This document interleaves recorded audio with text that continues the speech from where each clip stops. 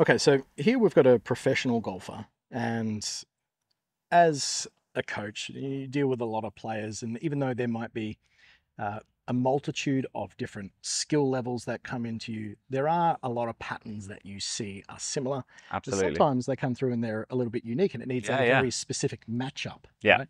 And this is definitely one of those. right? Definitely one of those, 100%. So um, I've been working with him for quite a while online, Mhm. um, and he come to see me last week in person. But one thing and one main thing that we needed to get over, one hurdle, was how strong his grip was at address. Le- the left wrist was quite strong. Okay. Mhm.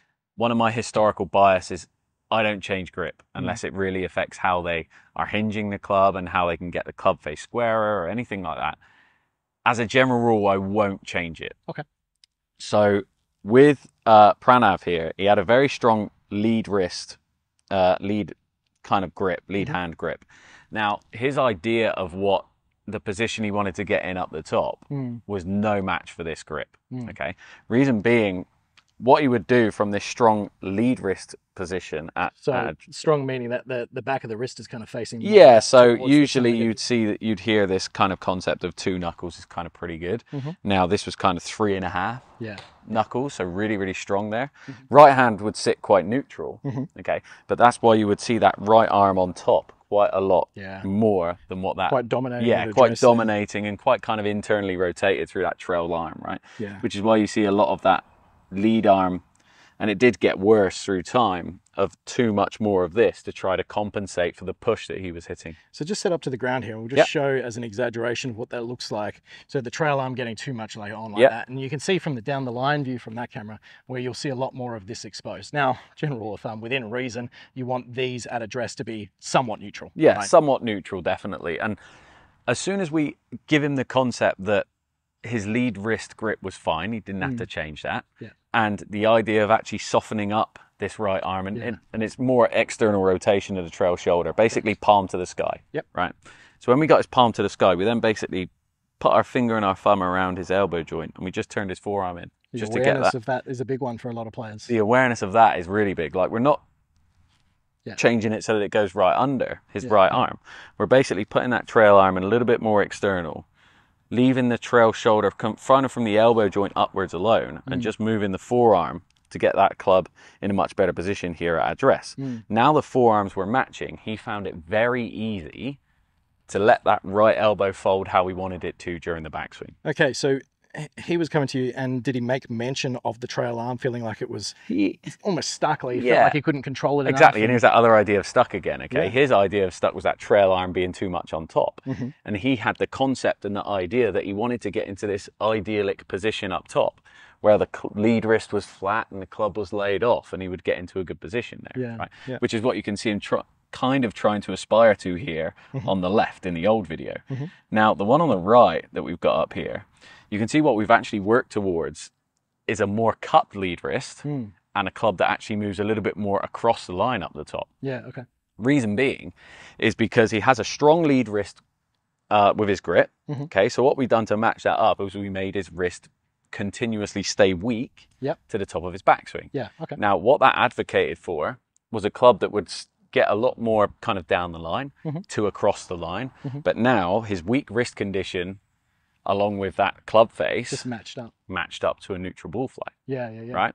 And straight away for us, actually getting that idea around his head that Yeah. across the line and cut with the lead wrist up the top was good Mm, was a big, big hurdle to overcome. yeah, As soon as you overcome that hurdle, especially again with a pro at the elite level, yeah, that okay, well, what I do isn't actually that bad. Yeah.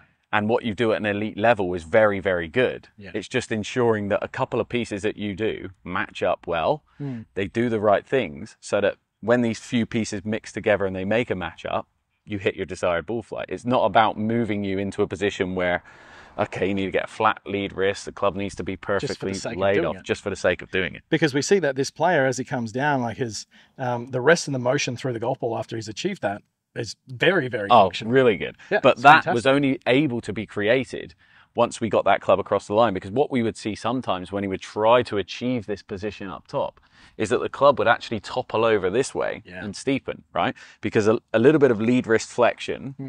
and the trail shoulder massively externally rotated, advocated for a little bit of steepening here. Yeah, yeah, yeah. Right. So what we were trying to get him to understand is that even though the lead grip, lead hand is a little bit strong, we matched up the forearms. The right elbow folded better. It wasn't staying externally rotated here where the arm was staying like this. Hmm. We let it get out a bit, let it get a little bit more this way to give him a little bit more freedom. Mm-hmm. Yeah. From here, he said he could literally open his chest up. The shaft was shallow Naturally. naturally. And from here, he wouldn't feel like, because he was so much here and on top and trying to achieve this position, Yeah. that he would get too much this way and on the inside. Just jump over there for me and I'll Yeah. kind of run through those feels and Yeah, awareness there. sure. So he was too far on top with the trail Yeah, elbow. too far on top of the trail arm. internally rotated, so Internally rolled in rotated. like this. Yeah. Now, uh, for the guys at home here, you can move the palm and the elbow crease independently, right? If you were to just simply let your arms naturally hang from your body, within reason, most players will see that their elbow creases here will face out towards the camera from face on, and the palms would actually hang on the inside. Yeah. And what most players do with their, let's just use the right hand for the right hander as an example, they'll go all or nothing. They'll either have their palm and their arm crease out like this. So, for example, it'll look like this, which Super would be very strong, strong. yeah. Otherwise, it'd be the other way. Yeah. But what we see with the professional right is there is actually a disassociation between one and the other. So Yeah. when they're setting up to the golf ball, what this gentleman needed to do is get the feeling of this facing out, right? Yeah. Turning the palm down. So then when he actually took his grip, it complemented the movement that you were trying to get him to, Correct. to make. Yeah, it, it enabled that trail arm to fold better. It was getting it flying a little bit more. Mm. Okay. And when it got, because he didn't have a hell of a lot of mobility in there, Mm. when it got a little bit more flying, he was able to actually move it that Yeah, way yeah. because he give himself room to do it. Whereas before he was trying to keep it so external and so pinch and lay it off that it had nowhere to go during transition except from Yeah. come out and over. And we can see that if I try and go, okay, keep this all in front, keep this all in front, keep this all in front, club shaft naturally wants to work Yeah. steepen out in front Yeah. of me here, Yeah. rather than maybe a little bit deeper across That's the it, line. yeah. Right, gets quite steep here, and then as the transition then comes down, you Yeah. got to play a little bit of And catch up what, from there. and what that also advocated for, actually understanding that the lead wrist was going to stay a little bit more in extension Yeah. through the backswing, it advocates for more depth Yeah. to the hand path. Okay, if you're somebody that doesn't have a lot of depth to the hand path, actually feeling like this lead wrist stays a little bit more in extension Mhm. can give you that feeling of getting back there more. So Yeah. exactly like you're doing there, where this is staying in extension, if you bow it and you flex it, makes it harder to keep that depth. So your hands move this way. Automatically, Whereas if you go like that, you can go as deep as you want. You can Mm. pin this a little bit more. Mm. Not that it's ideal for everyone, obviously, but this was definitely a matchup we had to create for him. We had to give him the depth to allow that club to go a little bit more down the line. Yeah. So that as he shallowed out and this club got into a better delivery position here, he felt like he can rotate without having to tilt away to try to get that club back on the inside. Because uh, it, it, everyone makes a sacrifice to get the club back on the inside, right? So that's essentially what he was doing. He was getting to here and he was thinking, don't feel right. Yeah. So he was 'em going like this, Yeah. trying to get it back on the inside. And that's what players at the elite level do all the time. They want to hit from the inside. So, what was this player struggling with specifically in regards to his ball flight? He was hitting a push cut. push cut. Yeah, and his bad miss was a push cut. Mhm. Um, so the push cut was inevitably created because he had that strong lead wrist, Mhm. right? Tried to bow it at the top, it steepened. He'd get a little bit on the inside, and then from here, the face was just open, and his path was actually kicking that ball further right through through the hitting zone there. And this just shows the importance of quality coaching, right? Yeah. Because as coaches, uh, we look at a golfer and they come in and we, we see the golf swing as a puzzle. Yeah. And our job as coaches is to put the right piece in at the right time. Mhm. And even though, yes, within reason, there are a lot of um, high quality ball strikers out there with a flat lead, lead wrist and the club face and everything matching up.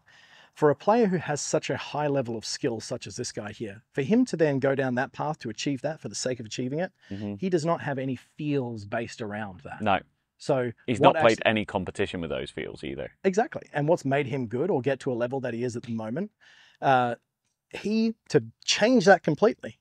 When he's on the 17th hole and he's got pressure on him and the wind's over the back and he's got some adrenaline pumping, Yeah, he can't be thinking process orientated of getting to this purely aesthetic position because people have been spending too much time looking Ex- at, at perfect golf swings. Exactly, and that's that's the whole thing. Is if you look at every single swing on tour, if you were to actually analyze it and slow mo it down, very very few of them hit these idyllic positions that Yeah. are thrown out there all the time nowadays. Okay, and it's about understanding that that player doesn't actually need to do a lot Mm. To match him up to get him to play at the elite level. Yes, you would. I, I have my methods, I have my preferences, but the idea with a better player that I very rarely, if ever, need to use them Yeah.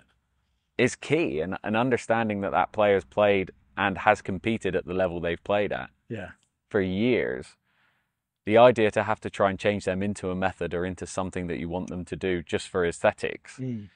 it's just get it's just going to make them want to leave you and envy, Yeah. kind yeah, get yeah. away from you a Yeah. little bit. And I, I think you did a fantastic job, even based on the conversation that we had about this player before we started the video, of really understanding where this player was at, his frustrations, Yeah. and then the direction that you took him.